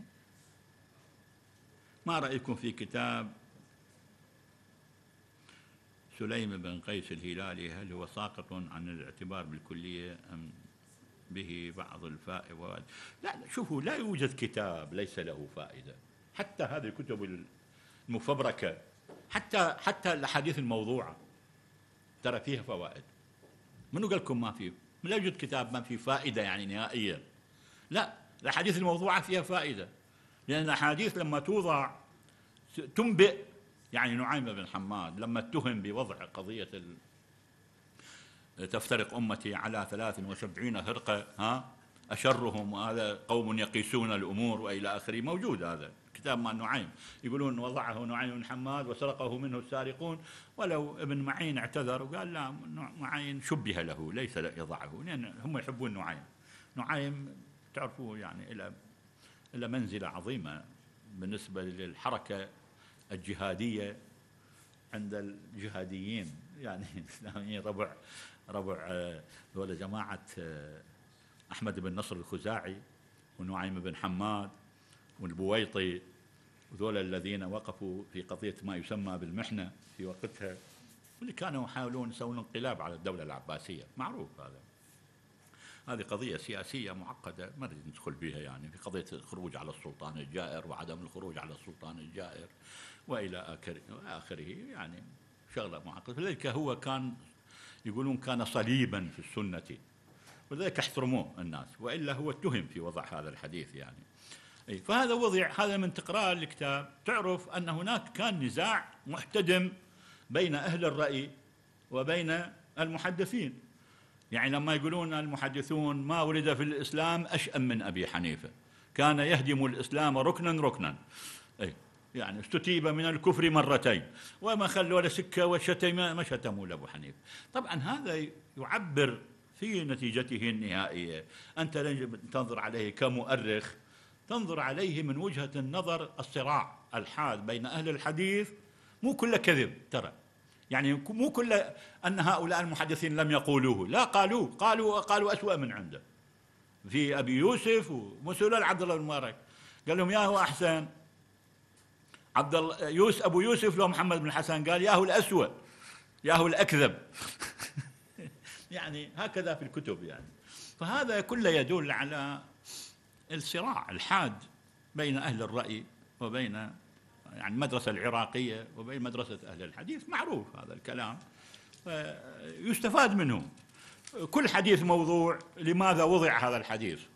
يعني ممكن واحد يدرسه من الناحية الاجتماعية والتاريخية. ليش وضعوا هذا الحديث؟ يعني مفيد يعني. حتى أحاديث أشراط الساعة المكذوبه الكثير منها مكذوب يعني كثير من عندها مكذوب. تعرفون يعني مثلا كتاب الفتن مال نعيم بن حماد. تعرفون كتاب الفتن مال نعيم؟ كتاب الفتن ثلاث ارباع بالمئة تسعين من عنده كاذيب يعني كلها أحاديث موضوعة. لكن هذه بدراستها تاريخيا ودراستها من الناحية التاريخية تنفعك في في استخلاص شيء معين. ما هو شراد نعيم يقول كل الحكي هذا اللي قاله نعيم بالكتاب أنه خلص الدولة العباسية راح تنتهي بالقرن آخر واحد الثامن. يعني آخر واحد الثامن التاسع وتنتهي وراح يطلع كذا ويطلع كذا والرايات السود وخراسان والدجال والدنيا وكلها تطلع وإلى آخره.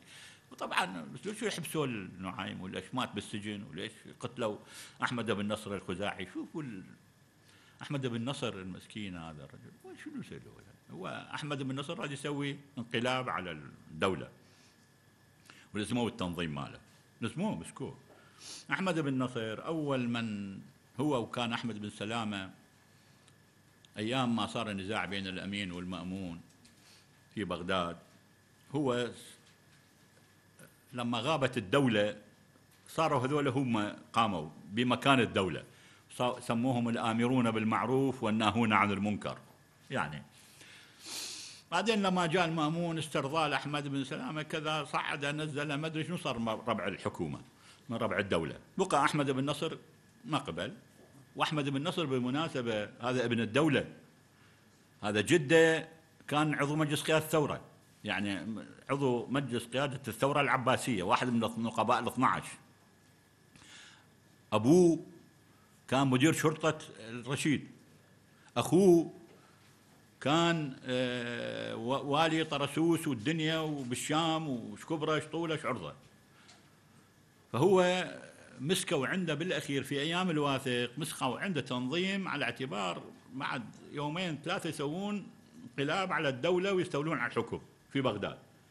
لزموا التنظيمات عندهم والأسلحة والمسائل في الجانب الشرقي والجانب الغربي من بغداد وإلى آخره. فجابوا له الواثق منو قاعد؟ كانوا قاعدين فقهاء وقاعد أحمد بن أبي دؤاد و... أحمد بن أبي دؤاد قال له أنت أخو ادمي وأبوك وجدك وكذا وأنت ابن الدولة ليش تسوي يا ابني؟ ليش سويت كذا؟ ليش تريد تخرج على الدولة؟ ليش فواثق إيش قال له؟ قال له لا لا لا لا. أنت ليش تساله هذه الأسئلة؟ اساله أنا اساله ما تقول في كتاب الله في القرآن. مخلوق لو لو غير مخلوق. قال له كتاب الله وسكت. بالمناسبة. قال كتاب الله وسكت. قال له ما تقول في كتاب الله؟ مخلوق؟ قل لي لو ما مخلوق. قال له كتاب الله. قال له وهل ترى ربك يوم القيامة؟ قال له هكذا جاءت الرواية عن جدك المصطفى صلى الله عليه وسلم. فقال لهم هاتوا النطع والسيف فإني أحتسب خطاي إلى قتل هذا الكافر الذي لا ربه ربنا ولا قرآنه قرآننا ولا نبيه نبينا. وجيبوا الصمصامة مال معدي كرب الأول وضرب رأسه هو بنفسه. إلى الأحمد بن نصر. مع ذلك أخذوا الرأس حطوا عليه سرية حرسة ببغداد. ست سنوات ونصف معلق الرأس بغداد عليه سرية حرسة والجسد منصوب بسامرة هذا المتوكل اللي يقولون عليه ناصر السنة وهذا بعد كذاب هذا أكبر استراتيجي لا نصر السنة ولا يحزنون هو هذا ظل خمس سنين بزمانه معلق الجثة بسامرة لأن الواثق تولى سنة ال 32 إلى ال 37 والجثة معلقة بسامرة والرأس معلق يخاف ينزلهن. انتقاما من هذا الرجل الذي حاول أن يقيم على الدولة. وذولا جماعة نعيم بن حماد والبويطي صاحب الإمام الشافعي والآخر كلهم ماتوا بالأغلال في السجون. معروفة هذه القضية. وجاب للإمام أحمد السامرة وراد يسوي له إقامة جبرية ونطوا الفلوس الولدة والابن أخوه والعمة والمدري شنو الصالح والجماعة. قال لهم لك لا تأخذون فلوس لك يريدون يسوي لي إقامة جبرية هنا بسامرة وأنا أموت هنا الإمام أحمد. وظل 16 يوم ملطوع في سامرة ولم يقابله الخليفة المتوكل. تالي رجعوا لبغداد ودزوا له مدير المخابرات قالوا له شوف تقعد ببيتك ممنوع تحدث ممنوع أحد يدخل عليك ممنوع تسوي الفلانية ممنوع تسوي ترى رجعك. قال لهم يا حاضر حتى البركة ظل كم يوم كم شهر ومات. توفي الإمام أحمد. معروف هذه القضية. الآن يسمون هذا المتوكل إيش؟ ناصر السنة ورافع المحنة وإلى آخره. هذا ما نحن نريد ندخل في هذه المسائل. فهذه أخي كلها المسائل تنفعك في فهم الواقع الحال. يعني حتى الأحاديث الموضوعة حتى المكذوبة حتى المسائل ممكن أن تستغلها في الدراسة الأكاديمية.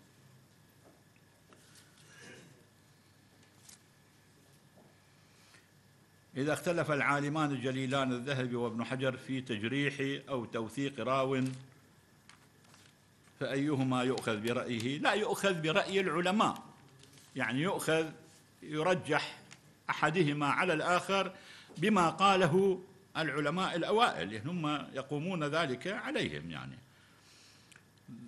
ذكرت ذكرت العديد من المصادر أن للإمام الترمذي كتبا مفقودة مثل التفسير وغيره فهل يوجد شيء منها كلا للحافظ السلفي مكانة عظيمة بين العلماء والمحدثين فمن فضلكم أرجو توضيح منهج السلفي في كتبه وخاصة المشيخ البغدادية. لا المشيخ البغدادية هي عبارة عن رواية يعني هو يذكر الشيخ البغدادي ما مرتبة بالمناسبة. يذكر الشيخ بحسب سماعه يذكر الشيخ ويذكر ما روى عنه فقط. يعني هكذا المشيخ البغدادية موجودة. نرجو أن تذكرنا بعض المواقف التي واجهتكم في هذه الرحلة الطويلة المعاصرة من عملكم وتحقيق المخطوط والخبرات التي عليكم وتسفيل منها لا هذا ليس وقته.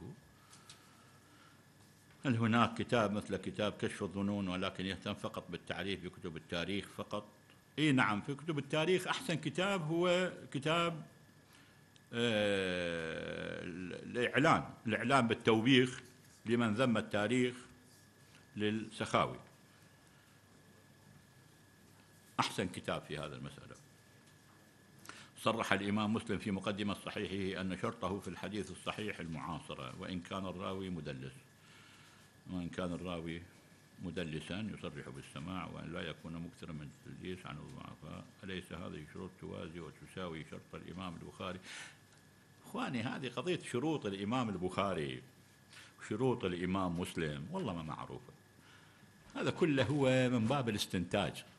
إحنا لا نعرف شروطهما. يعني لا نعرف الشروط. هذه كلها أشياء استنتجها العلماء.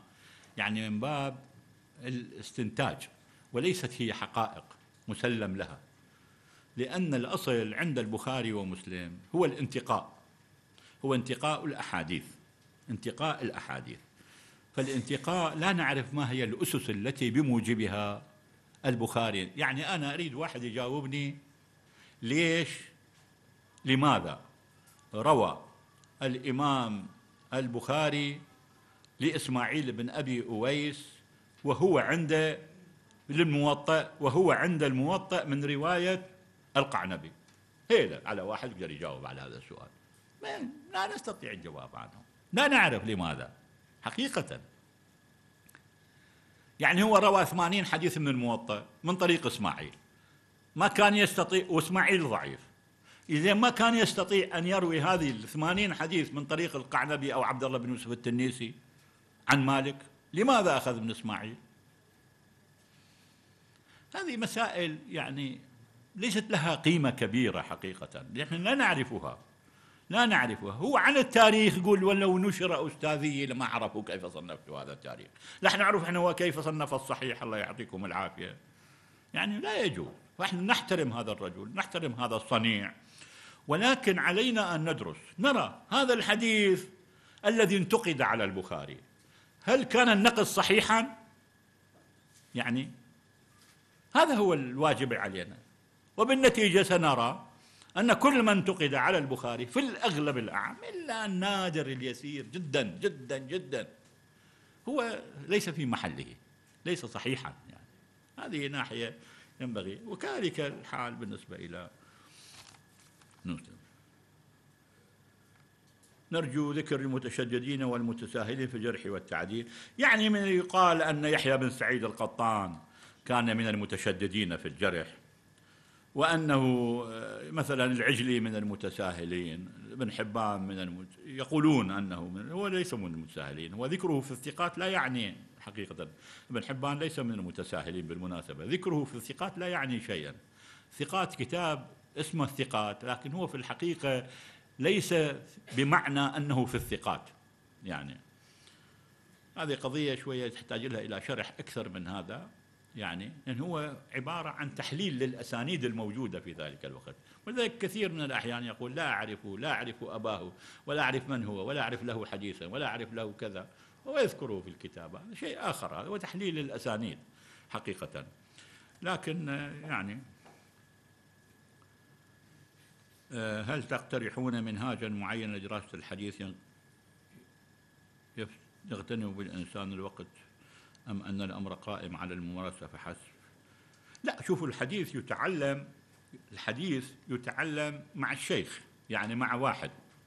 يجب أن تشتغل مع واحد ممارس لهذا العلم وتتعلم منه وتراجعه ويصلح لك ويمزق لك ويقول لك هذا صح وهذا غلط وهذا صح وهذا غلط حتى توصل إلى يعني آه، النتيجة المرجوة أعتقد إحنا نتوقف هنا لنصلي الظهر إن شاء الله ونعود بعد ذلك بعد الصلاة. بارك الله فيكم وهذه سنجيب عنها فيما بعد.